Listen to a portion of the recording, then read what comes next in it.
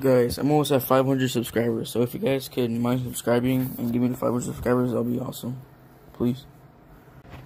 I will try to make um, like a little montage of like how I started to how I like got to 500 or the journey to 500. So yeah, please subscribe me, give me the 500.